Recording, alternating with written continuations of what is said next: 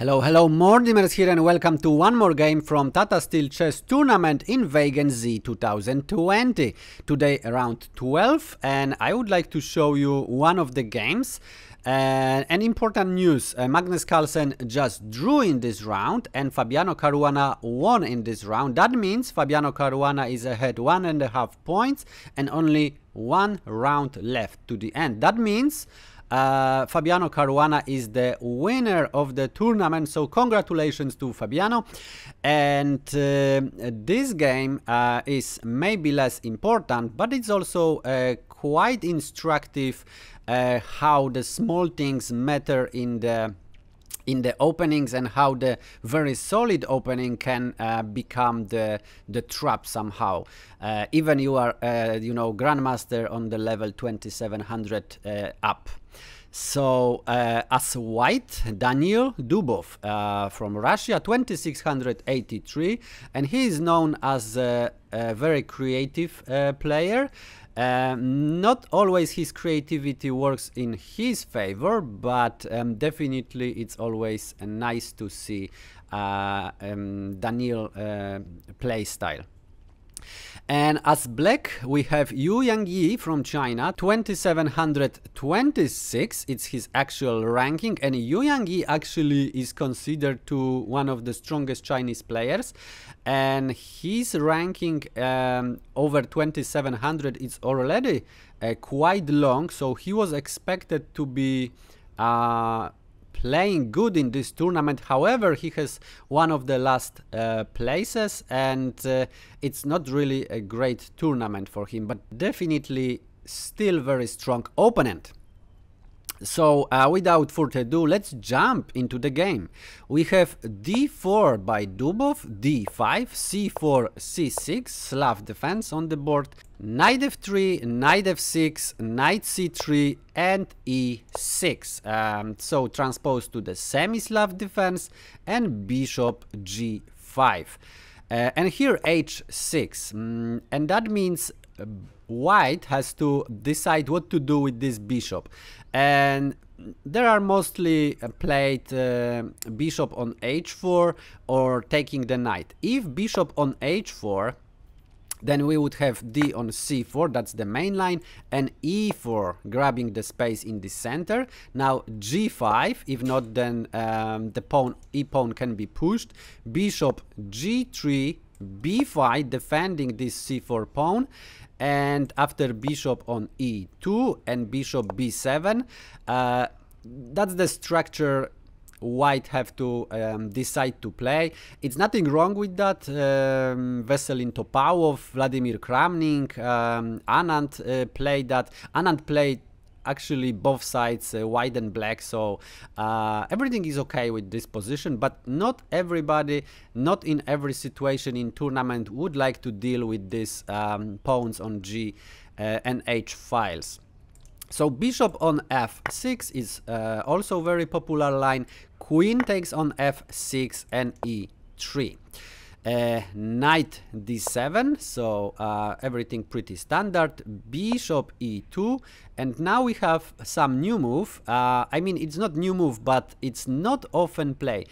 Bishop on b4 just a couple of games in the database and um, usually this bishop goes to um, on e7 or maybe even more often on g7 in these structures and here we have the castle by white and castle by black. Queen c2 and here black probably could wait for a3 and then exchange for the knight if they want to exchange for the knight.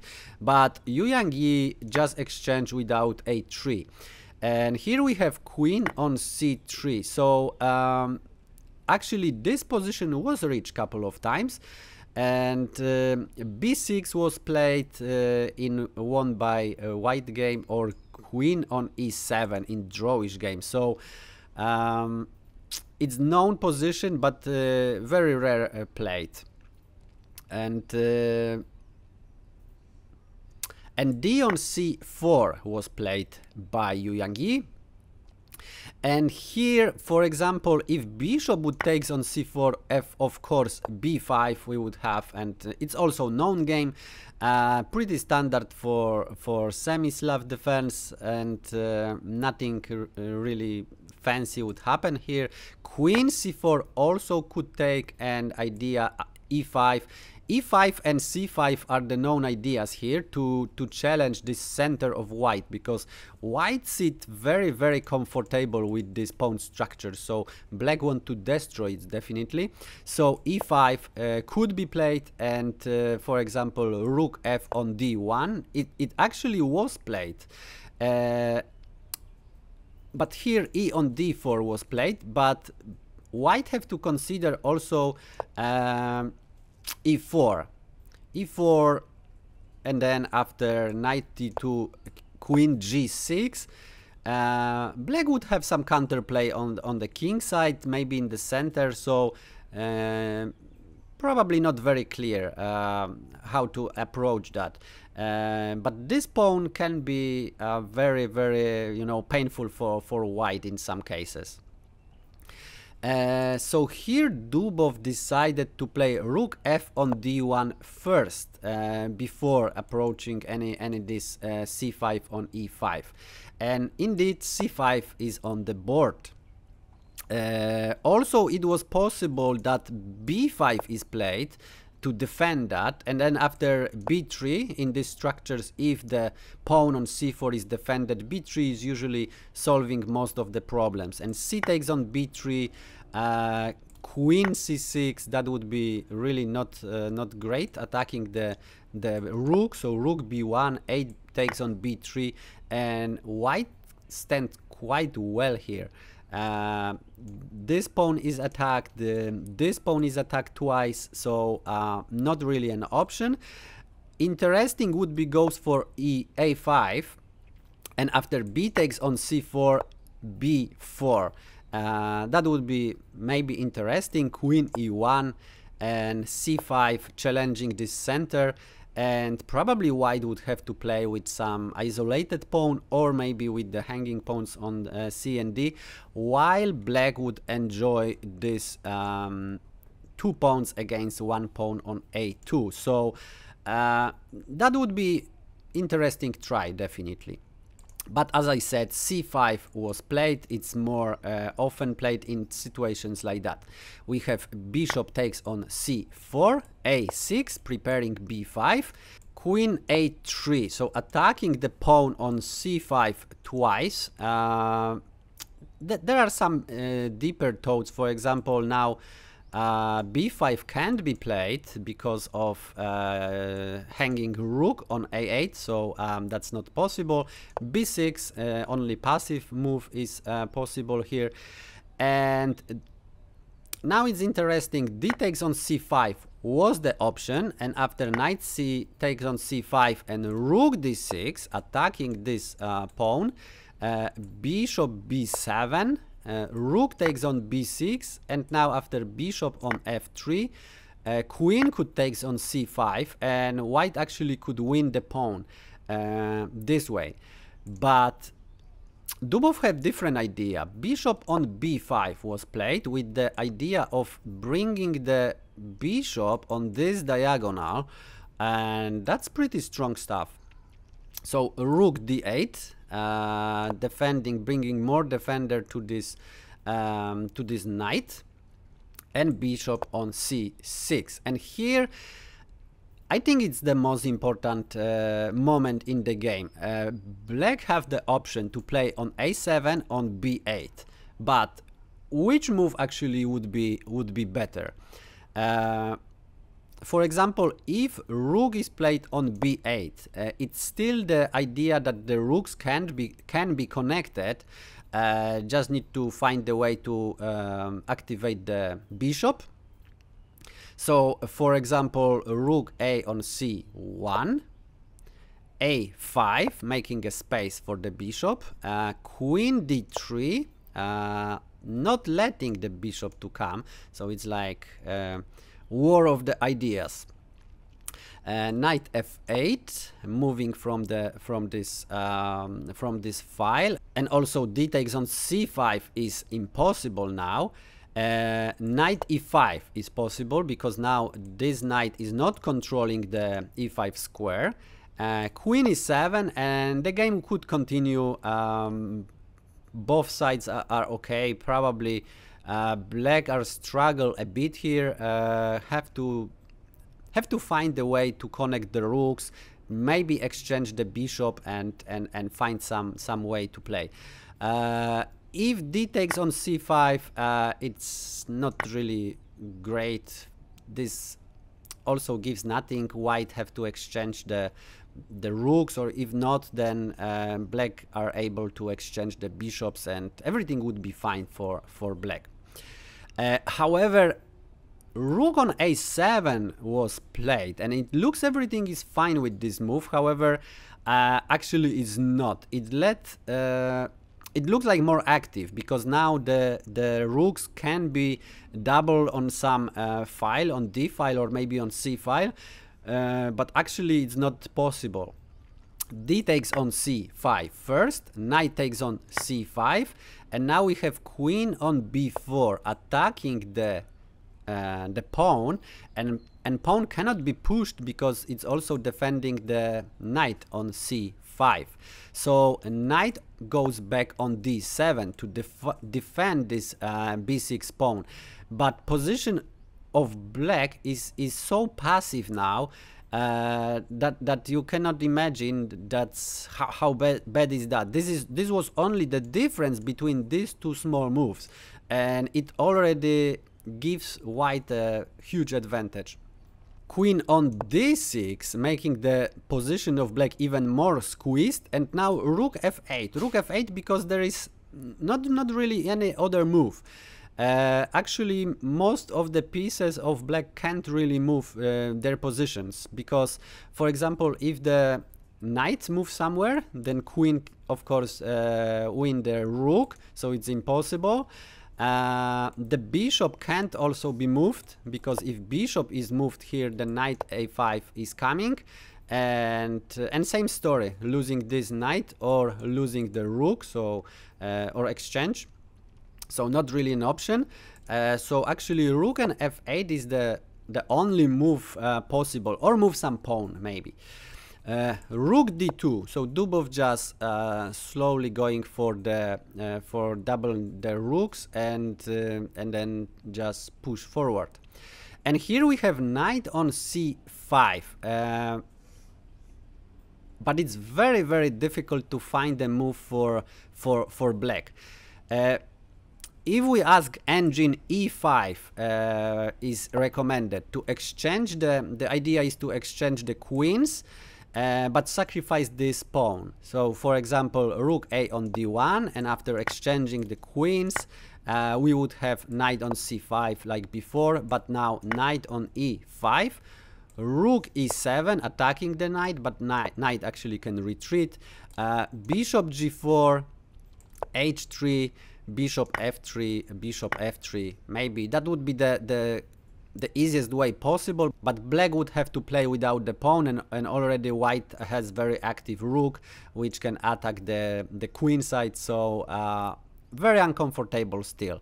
Knight c5, however, gives white the opportunity to take uh, to go to b8. Uh, this move was maybe considered by Dubov, but he didn't go for that. But let's see what would happen. That's a very interesting move. Uh, so attacking the pawn and attacking the rook at the same time and it's uh, difficult to do something about that if the rook is is moved and um, the pawn is taken then more material would fall so probably rook on b7 would be the best um, option and after bishop on b7 and bishop on b7 Queen e5 could be played uh, to exchange. Uh, black would not exchange, uh, definitely. Maybe knight e1 uh, to avoid exchanges here. And black probably could uh, try to cement the, the, the, the, position, but it would be very, very difficult still, uh, even with, this, with these moves. knight e4 rook d4 knight g5 uh, with some maybe some ideas but uh, it, it's it's nothing actually here so b5 and uh, white would stand just just much better with the exchange up so uh, that was the interesting thing that in this position it's already the best option for for black which is which is totally just wrong. But Dubov didn't play uh, queen on b8 in that position. He played rook a to d1 uh, and he created some nice threat. Uh, for example if black plays something slow like a5 uh, then we would have queen on f8 check pretty impressive stuff. Uh, king takes on f8 and now rook d8 check and if king move then of course it's checkmate here. Uh, so that's not possible. Queen has to take on d8 and after rook takes on d8 uh, king e7 and uh, rook takes on c8 and that's game over. Actually it's a minor piece up so very easy win for white. So that was the the threat here. Uh, so after after that of course um, Yu Yangyi don't like this idea so queen e7 he tried to exchange the queens. Now we have b4 by Dubov, queen d6, rook takes on d6 and knight b7 attacking the rooks on d6. So a rook from 6th rank uh, retreat to the second rank and now we have f6 so taking the um, the squares from the knight, knight can't move of course, h4 uh, and here, for example, if a5 is played, that's the, the strongest move recommended by the engine, uh, then a3 would, would happen, and now e5, uh, so strength, strengthening all this center, but now h5. So h5 taking this spot to control, and for example, a takes on b4, a takes on b4, bishop g4 attacking this pawn and attacking also the uh, knight. But uh, keep in mind that uh, this bishop is important to control the uh, second rank. So it's actually not a threat to do something. And then uh, white would have just a really great opportunity to get to the seventh rank. Uh, so king h2 for example bishop e6 still keeping an eye on d7 knight h4 would be the idea. Uh, bishop b3 for example attack the the rook but now bishop d5 check. So bishop could be exchanged and rook f on a8 let's say uh, black would like to uh, double the rooks and have some some fun also. But rook d7 actually lock totally the position. Now this rook can't move anywhere uh, because then the knight uh, is lost and knight can't be moved uh, as well because uh, this is controlled. All of these squares are controlled. So that's actually also not possible. So black would actually stuck there. Uh, very un uncomfortable situation. So h5 was played first. And here we have bishop on e4 controlling h7 uh, so having some mating ideas on the 8 ranks or at least try of course it's not happening now. E5 consolidating the center and now rook on c1 so moving the rooks to the uh, to the C file as it's not controlled like the uh, D file because uh, D7 is controlled by the bishop so on C file rook would be uh, much happier rook a8 so uh, Yu Yangyi just moving the rook back to the uh, 8th rank. Uh, so this is why this rook should be there already and it would uh, black wouldn't have so many problems. And now we have rook on c6 attacking this pawn. B5 and rook on b6 now this knight is pinned so it's double attack. Uh, so it can be taken uh, and here king on h8 was played. Uh, and now, actually, if white take, I, white could take it. And after rook on b8, just uh, pick the bishop and enjoy the um, two minor pieces for the rook endgame. and that would be winning for white but uh, but Dubov had different idea probably much easier so he just play rook on c2 and now he's uh, threatening even even stronger uh, attack on uh, b7 rook f7 by black so bringing reinforcement to uh, control these two important squares. Uh, but actually in this position Dubov found uh, some move which uh, it, it, it's not so visible. So feel free to pause the video and uh, find the winning idea for white while I enjoy my cup of tea.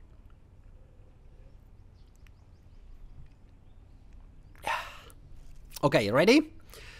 So a lot of ideas, of course, uh, winning here. Uh, you can move the the knight and, and slowly get uh, you know minor piece up or maybe you can uh, get the rook on the c file and attack the the bishop or attack the seventh rank. That's all winning ideas but rook takes on a6 is the move. If you found it then congratulations Yu Yangyi just resigned the game and he, he just have no will to play anymore. So, so for example, of course, if he takes, then rook takes on c uh, 8 and then it's checkmate. Of course, uh, it's nothing can be done, so uh, it's just checkmate. So that would be the idea. And rook b8 also could be played, but then rook b6, rook e7, there is there is there is no other move, so rook b5 bishop e6 and uh, and white just winning with the extra two pawns so that was not like checkmate or winning the piece but winning two pawns is totally enough in this position to just win the game. So uh, Yu Yangyi just resigned after rook takes on a6 so congratulations to Daniil Dubov for another creative game this time not tactical but you know squeezing the enemy uh, in this style is, is also quite impressive. So um, now he felt much better than uh, he could do in uh, the game against Fabiano Caruana. Now he was, you know, in church and uh, he could show like um, he's really dangerous opponent. So uh, yeah, thanks for watching. And if you like this video, please press like. If you don't like this video, please press unlike. And uh, leave the comment. I would like to hear from you. And of course, uh, if you like my content, if you like my style of commentary, just subscribe. Thanks for watching and see you in the next one.